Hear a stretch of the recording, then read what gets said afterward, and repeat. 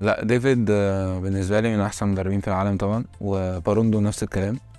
آه، أنا محظوظ إن أنا اتمرنت مع الاثنين بصراحة. آه، هما بيضيفوا لي حاجات أنا وأنا جون وهم ما لهمش أي علاقة بيا لأن الاثنين بص يعني المدرسة الإسبانية بيعتمدوا إن أنا معايا اللعيبة مدرب اجوان معاه الإجوان من الأول للآخر. مستحيل يجي يكلمني. إلا بقى لو مثلا أنا دخل فيها جون كارثي مثلا إلا لو غلطت غلطة كبيرة جدا أثرت على الماتش. حتى في الاحتفالات ما بيحتفلش يعني هو عازل الجون عن الفرقة. هو هو دايما بيقول لي كده ديفيد بيقول لي هو ده انت لوحدك الفرقه لوحدك مش عايز أشوفك بتكلم لعيب. يعني هتحمسهم هتزعق لهم هتتشد معاهم هتروح حتة تانية. أنا عايزك أنت مركز.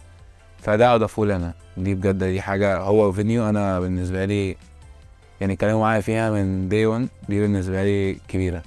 إنما هو أضاف للفرقه طبعا هو اتكلم في الروح اتكلم في آه، أضاف كتير قوي فنيا هجوميا ودفاعيا. بيصلح الأخطاء أو يعني أول بأول هو بعد ما خسرنا ماتش الدوري اللي هو من أسبوعين قعد مع الفرقة إحنا عملنا كذا كذا كذا كذا غلط ده مش هيحصل الماتش اللي جاي ما حصلش إن شاء الله هنكسب. فحققنا كده فعلا فالحمد لله.